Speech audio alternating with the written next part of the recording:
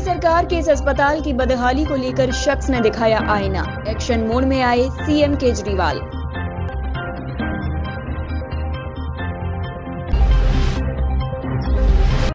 भारत के फाइनल में पहुँचने पर खुशी से गदगद हुए पीएम मोदी। शमी के लिए बोले, आपको पीढ़ियाँ याद रखेंगी।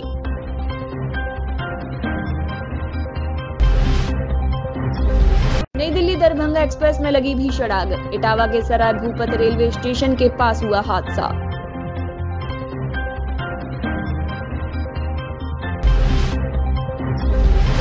लंदन में मिली यूपी से चोरी हुई 1970 के दशक की मूर्तियाँ। जयशंकर बोले, इनकी स्वदेशी वापसी का इंतज़ार।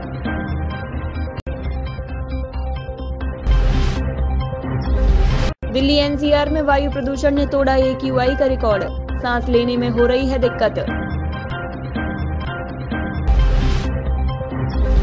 यूपी में दरोगा पर टूट पड़े दस बदमाश। पीट पीट कर किया अधमरा वीडियो हुआ वायरल।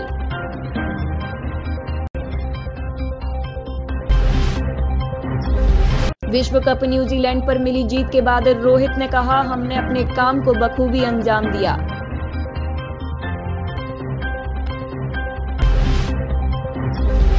भारत को वैश्विक महाशक्ति बनना है तो देश की शिक्षा, स्वास्थ्य व जीवन मूल्यों की चिंता करनी होगी।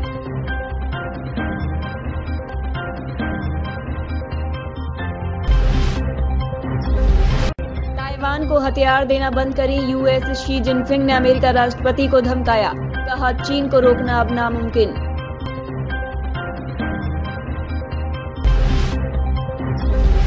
कनाडा ने भारत को अभी तक सबूत नहीं दिए। लंदन में जयशंकर ने ट्रूडो को दिया दो टुक जवाब।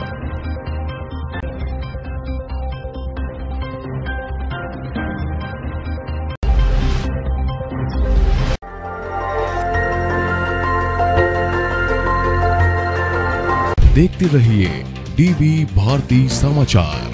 नज़र हर खबर पर।